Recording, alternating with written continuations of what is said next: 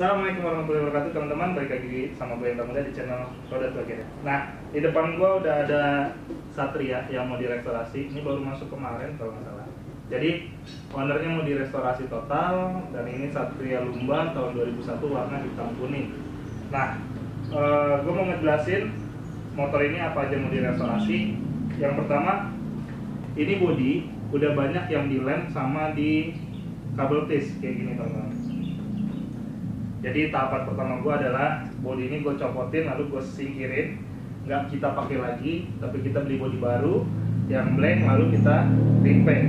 Lalu nanti setelah repaint jadi kita pasang disc strippingnya yang baru. Gitu teman-teman.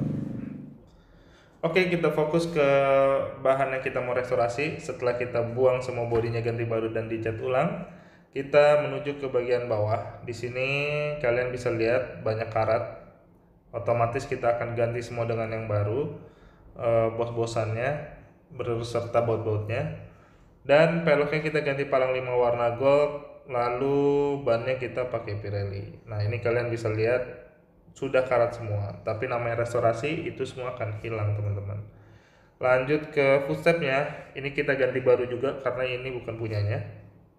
Nah kalian bisa lihat sok di dalam itu kita akan ganti baru juga. Oke lanjut ke part kedua di sini bagian bawah ya teman-teman di bagian bak kopling kanan kiri itu akan kita cat ulang.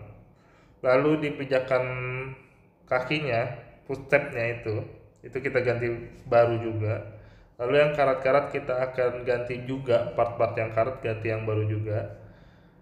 Di knalpot kita mau sepertinya ganti baru juga nggak usah di repaint repaint karena ini bentuknya kurang bagus ya teman-teman kita menuju ke bagian depan, di pala babi ini kita akan cat warna gold dengan palang 5 gold dan ban Pirelli. Oke, next.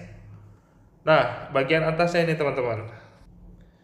Pertama yang gue lakuin itu holder itu kita ganti baru semua, terus hand grip kita ganti baru juga. Handle kanan kiri kita ganti baru juga sampai rumah-rumahnya karena di sini dratnya sudah tidak ori, jadi kita mau pasang spion. Lalu menuju ke speedometer, ini juga kita mau ganti baru. Hampir semuanya kita ganti baru ya teman-teman. Nah, kita menuju ke bagian depan. Di sini ada mika dan lampu. Ini kita ganti baru juga semuanya. Reflektor semua kita ganti baru semua. Kaki-kaki teleskopik kita cat, spakboard juga baru, pala babi baru. Oke, itu aja palingan teman-teman. Kita lihat nanti jadinya. Buruan, subscribe itu gratis. Kagak perlu repot, tuh tinggal tekan tombol merahnya. Repot amat disuruh begitu aja.